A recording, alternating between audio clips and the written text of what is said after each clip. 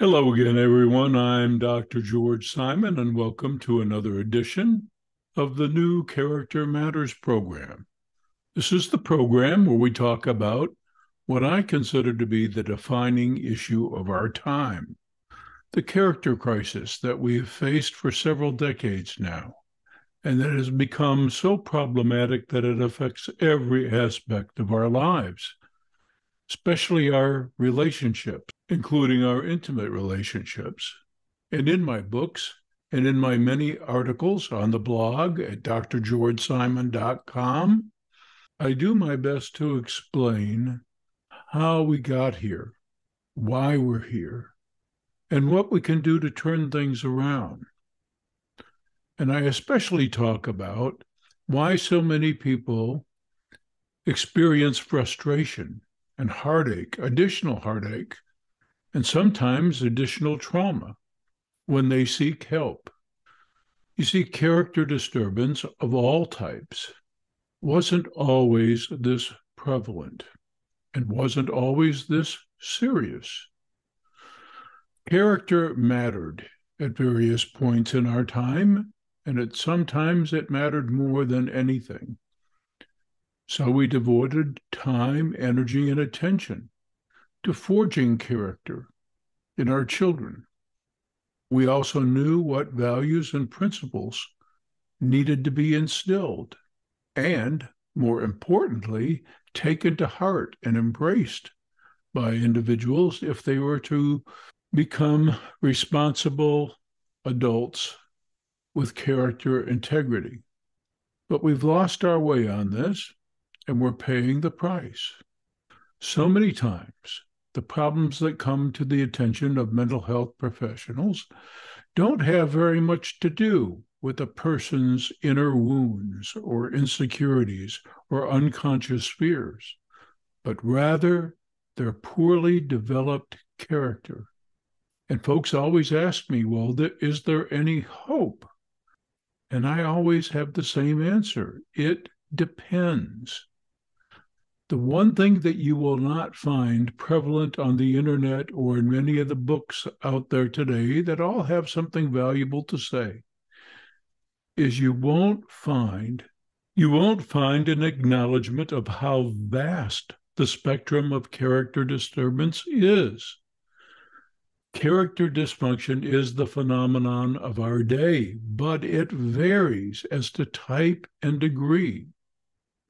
And not all individuals, for example, who have narcissistic traits in their character are the same. The spectrum is broader than most authors and commentators will tell you. And in my book, Character Disturbance, I try to lay out the vast spectrum, what to look for, how to tell where someone is on the spectrum, and especially how to get the right kind of help. So, the answer to the question of whether or not anyone with character dysfunction of some type can change, the only truthful answer is it depends. And it depends on a lot of things. First of all, it depends on the type of character dysfunction that the person has and how serious that character dysfunction is, how deeply ingrained it is.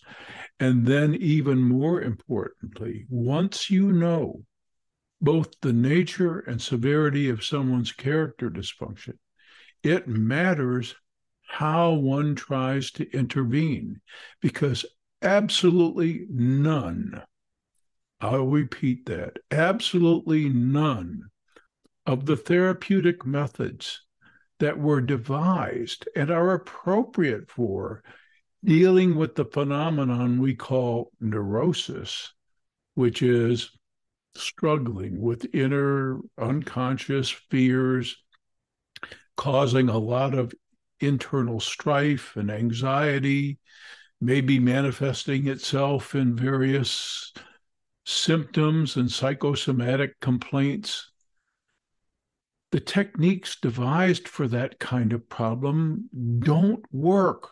They have no place as an intervention for character dysfunction.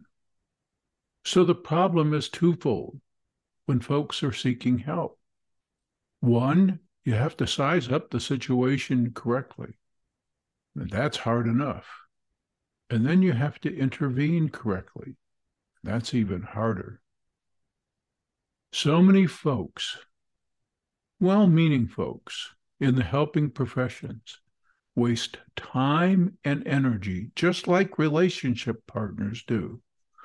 Waste time and energy trying to get the disturbed characters they're dealing with to see what they already see, to give them insight that they already have.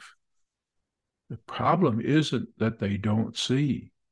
The problem is that they disagree, just as I say in my workshops, that nice little rhyming phrase.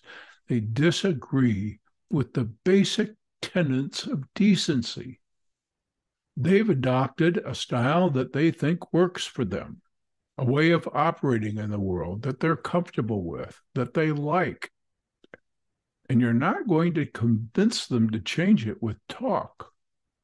But if you have any kind of a relationship with them and they're not so serious that you need to just run for the hills, what's really necessary is enforcing the boundaries and the limits so that they don't run over you. And last week, I began talking about certain personalities that I call the aggressive personalities. Personalities that go far beyond narcissism. Narcissism is a quality that's present in all manner of character dysfunction these days, and for a lot of reasons.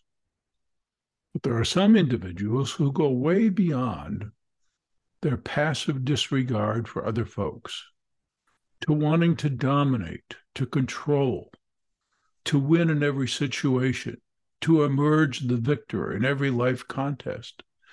And they're different from assertive personalities who respect and observe boundaries and limits and who have some concern for and empathy for others' legitimate rights and needs, they go far beyond assertiveness to ruthlessness, to not caring who gets hurt. All that seems to matter is maintaining the position of power and control in a relationship. Many times you don't find this out until it's too late. And that's really one of the two main purposes that I wrote in Sheep's Clothing. I wanted to expose a certain personality type, a covert character type. I hear the term covert narcissism bandied about these days. Oh my goodness. It's pretty hard to, to hide selfishness, especially on a repeated basis. It's pretty hard to hide self centeredness, grandiosity, thinking I'm all that, projecting a know it all image, an image of greatness. Very hard to hide those things. But what some individuals who are inherently narcissistic, but who also go beyond that with the will to dominate and control, what some individuals are good at is cloaking both their nature and intent, using certain tactics to induce what has commonly come to be called the gaslighting effect playing the victim when you call them on something, casting themselves as the victim, and that they're only trying to defend themselves against your attack, when in fact they are the attacker. They are the ones striving to dominate and control. But they want to cast themselves differently. And in your gut, you, you sense that they're doing that, but you can't objectively back it up, especially if they're convincing, if they sound adamant in their assertions. This is what induces the gaslighting effect, makes you feel crazy, makes you doubt yourself, which is the intent of the tactic. And in my book, In Sheep's Clothing, I talk about all the other tactics as well that help induce the gaslighting effect and help manipulate you into caving in to seeing things their way, to giving them their way, which is the whole agenda. So, rightfully, I call these folks covert aggressors because that's the appropriate label. Those of you who listen to my podcast know that I'm a stickler for terms. And I have to say, with all due respect to my colleagues in the various helping professions, especially in the field of mental health, no terms get abused and misused more egregiously many times than by clinicians, by those who should know better. I'll give you just a couple of examples. Acting out, which has become synonymous with misbehavior, and it's not, not even close. And yet I hear that term bandied about so loosely by so many.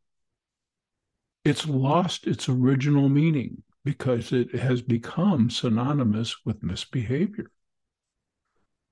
Passive aggression is another one, poorly misunderstood. It has a meaning. I talked about that in an earlier program. Denial. Oh my goodness. It's become synonymous with lying. Denial is nature's wonderful way of protecting someone from unbearable emotional pain, and it's not conscious. And so many times, clinicians and other folks assert that somebody is still in denial about something, what they really mean is they haven't decided to fess up to their misconduct. Why do I care about these things so much? Well, because seeing things clearly is the very beginning of personal empowerment.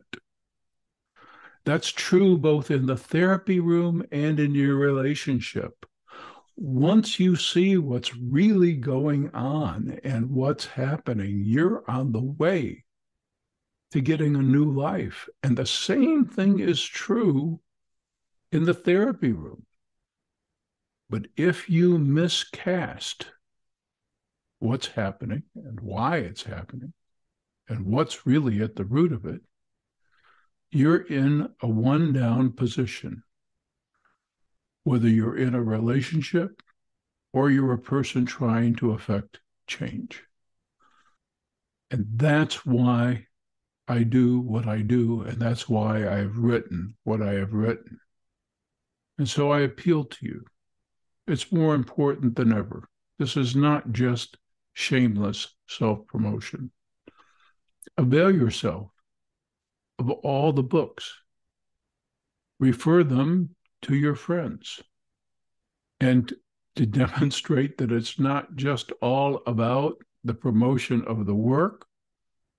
If you don't feel like you can do that, there's hundreds of articles, tons of free information available on the blog at drgeorgesimon.com.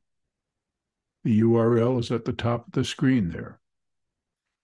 And in the post that will be released today, I'll have a link to an interview that I gave with a wonderful counseling service in Colorado uh, that you can access and hear me talk more about these matters.